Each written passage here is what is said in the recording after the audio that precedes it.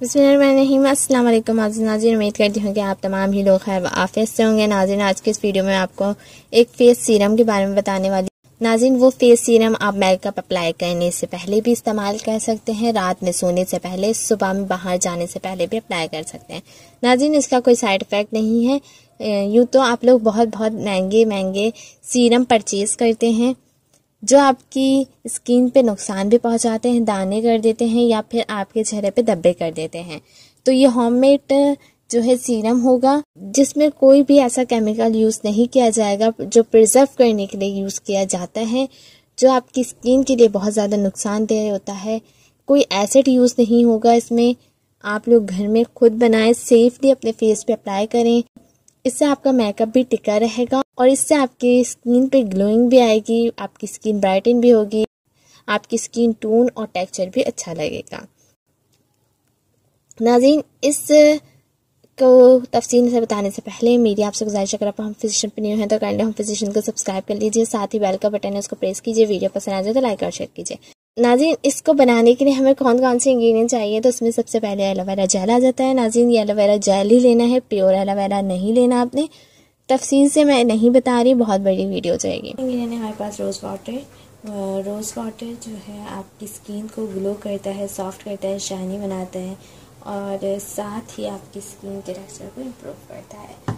नाजिन ये फेस पे अप्लाई करने वाला रोज़ वाटर है। चाहे तो आप लोग खुद भी घर में प्योर रोज़ से निकाल सकते हैं। नाजीन थर्ड इंग्रेडिएंट हमारे पास रोगने बादाम, यानी कि बादाम का तेल। रोगनी बादाम आपकी स्किन को सॉफ्ट करता है, शाइनी करता है। आपके स्किन पे मौजूद ऐसे मेकअप के पार्टिकल्स जो आपके स्किन के अंदर तक चले जाते हैं, उनको भी निकालता है। और मेकअप को टिकाने के लिए भी ये यूज़ किया जाता है। इससे आपका मेकअप फटा फटा नहीं रहेगा। नाजिन, अब इसको बनाने की तरफ़ चलते हैं। तो नाजिन, इसको बनाने के लिए सबसे पहले एक बॉल लेंगे। इसमें हम डालेंगे सबसे पहले एलोवेरा जेल टू स्पून छोटे वाले भर के। मेरे पास ऑलरेडी बना हुआ रखा है, इसलिए मैं कम क्वांटिटी में बना रही हूँ। सेकंड हम इसमें डालेंगे रोज़ वाटर डेढ़ स्पून डाल रहे हैं हम रोज़ वाटर वैसे तो कम पड़ेगा तो और डाल लीजिएगा। अगर कम पड़े तो। कि आपका सीनम ज़्यादा थिक भी ना हो और ज़्यादा लिक्विड वाला भी ना हो।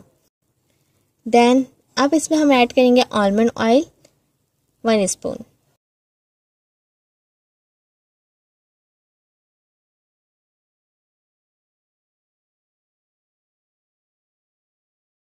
अब हम इसको अच्छे से मिक्स करेंगे। इसको मिक्स करने के बाद आपने देखिए आप ये ज़्यादा थिक हो गया है।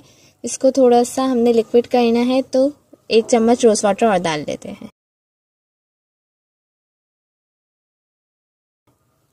अब इसको अच्छे से मिक्स करेंगे। नाजिन ये आपकी स्किन को सॉफ्ट करेगा शाइनी बनाएगा ग्लो करेगा, आपकी स्किन को लाइटन करेगा, आपके मेकअप को टिकाएगा और इसका कोई साइड इफ़ेक्ट नहीं होगा।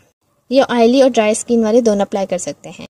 इसको इस तरह से लेना है और लेके अपनी स्किन पे आपने रब कर लेना है। या फिर आप जो सीरम बॉटल होती है, उसमें डालकर भी इसको रख सकते हैं। ये कोई तकरीबन पंद्रह दिन के लिए आप इसको फ्रीज़ कर सकते हैं।